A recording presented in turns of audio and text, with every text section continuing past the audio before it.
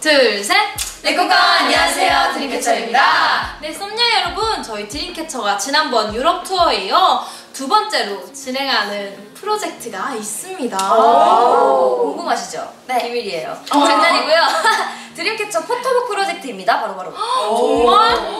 저희가 지난번에 MyMusicTaste를 통해 화보지 프로젝트를 한 번 한 적이 있잖아요. 네. 전 세계 썸냐들 덕분에 무려 555%를 달성했었는데요.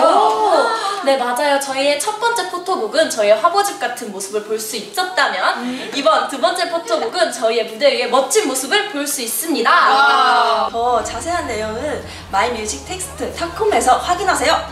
그럼 많은 참여 부탁드려요. Stop wishing, Start making!